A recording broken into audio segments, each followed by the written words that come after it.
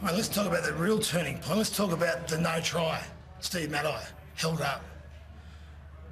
Unless I'm blind, I can see the ball on the ground. So what, what was the decision? Can someone answer me that? Someone.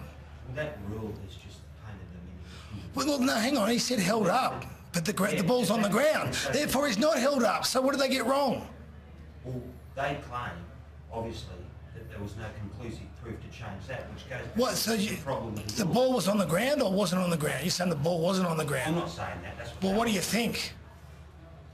They're, they're saying that it, I think it was ground before the line. And then got, And then- then they got that's lifted what up I'm and saying. held over. Oh, come on.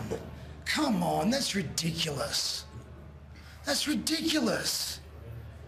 There's got to be an investigation into this. This has got to be, someone's got to be accountable for this.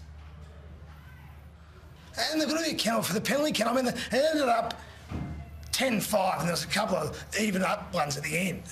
I mean, aren't we meant to have the best referees for this game? Were they the best referees we've got?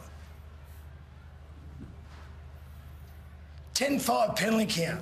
Was 6-2 the first half, and my and the Manly side still managed to be in front.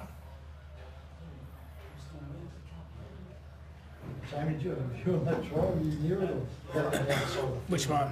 The- the Matai, try, oh, I could see it from the replay, yeah. But the two blokes in the box couldn't see it. Well, they need high definition TV, bigger ones. So if it was held up, I can see the ball on the ground. I don't get it.